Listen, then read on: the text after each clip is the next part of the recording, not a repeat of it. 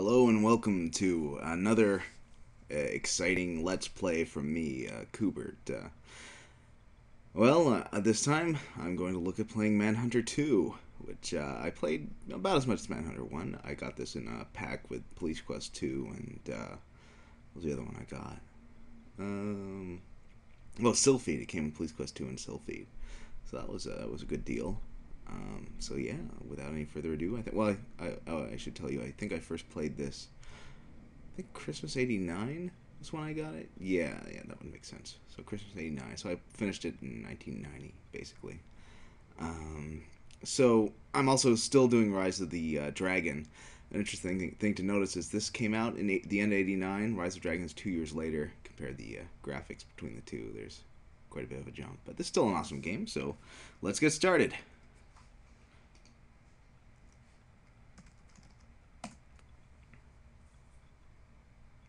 September 4th, 2004, New York City. Oh, just reduce that sound a bit. Here I am on an alien ship that can barely fly. It was just a few days ago that I was forced to become a manhunter for the orbs in New York City. Soon, a trail of blood led me to a ruthless killer. I am now chasing him west as we descend into a new day. He has killed too many. I cannot let him get away.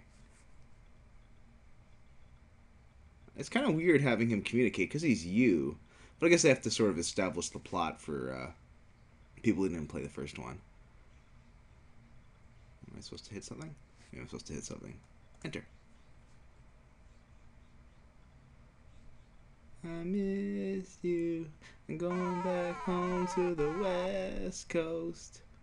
Oh, look. It's the Sierra Mountain. Huh? Huh? The Sierra Mountain kids. Oh, a little further down. Cover 1989, Manhunter, San Francisco. Doo doo. Doo doo. Doo doo. Yeah, there is a way to enable Tandy emulation with a three-channel sound. Uh, my friend Renee was telling me, so I have to figure that one out because it does actually have better Tandy soundtrack than PC soundtrack. And I think the emulation would be better.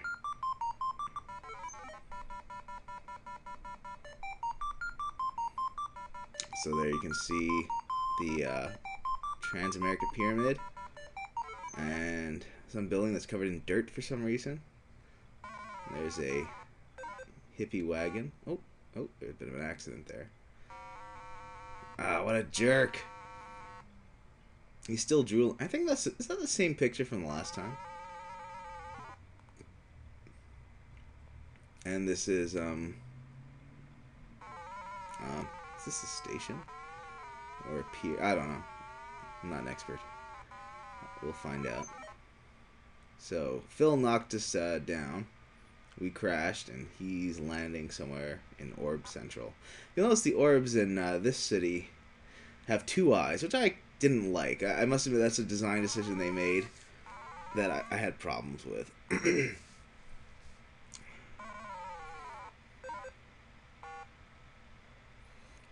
I liked the way the orbs looked originally. What is with that guy's face? Does he have like glasses on? Is that what that's supposed to be? These look like Police Quest background characters.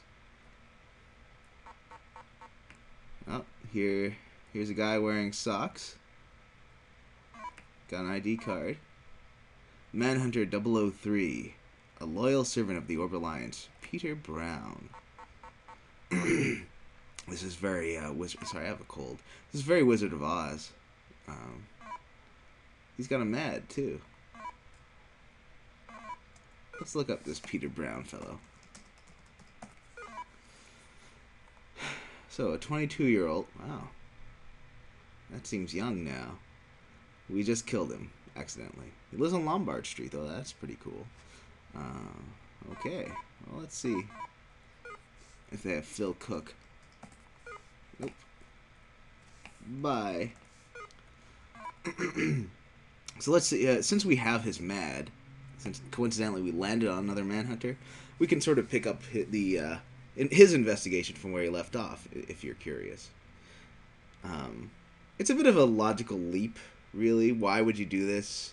you're trying to fight Phil. You're not trying to solve crimes, but let's go see the crime.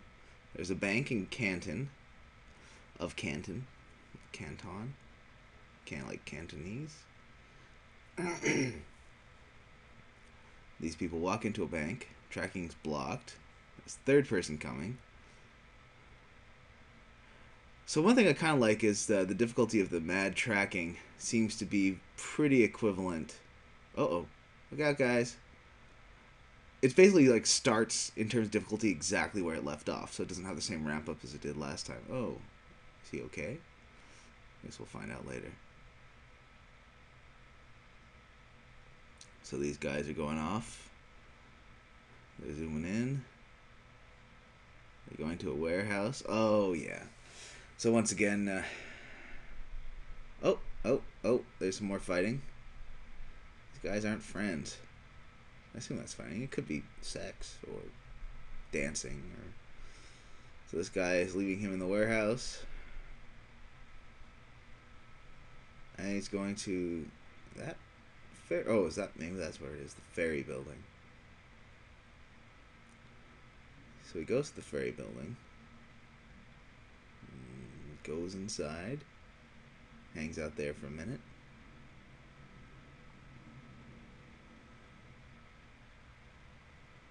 He goes over there. Uh, so he did something in the ferry building. What exactly did he do? We can't say. Now he's uh, leaving. And, oh, he's traveling fast. Well, that's probably a good thing. Then he goes to the Embarcadero Fountain.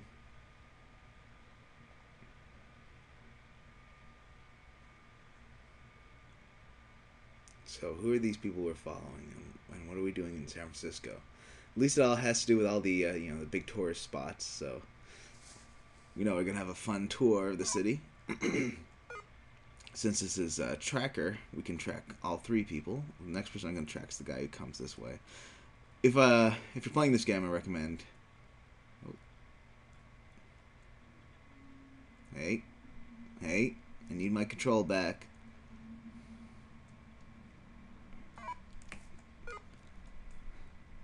Basically, putting it where people are going to be, since sometimes you don't have a lot of time, and since there's no real mouse control, pointing and clicking can be pretty tricky.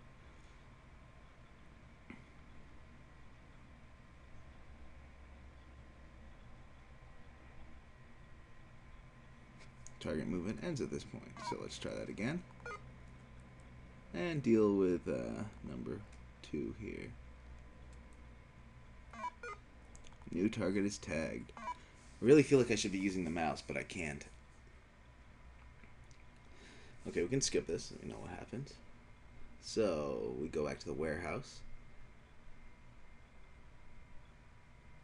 Yeah, this game got really kind of ravaged by critics because, uh, and this came out when like right before when Commander came out, right before games were like uh, King's Quest Five came out, right before games were really switching to VGA, and this wasn't even high res EGA. This is like low res 1987, 1986 EGA.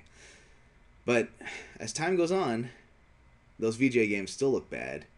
I now look bad, and these this game doesn't look that much worse, and you can appreciate the art that they put in rather than just not using the latest graphics engine. So, I think this game aid. Uh, time has been kind to this game versus the, some of the like the VGA Sierra games, which look terrible.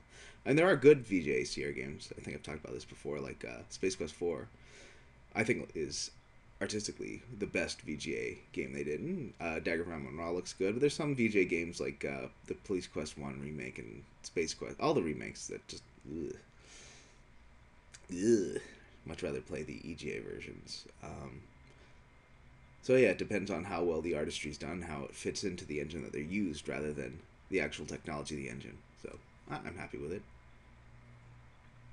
So he did his little course around the maze. You can always replay this later. As you can guess, we're gonna have to use this uh, information when we go to the warehouse ourselves. So yeah, you might be asking, why are we solving crimes? I, I can't tell you.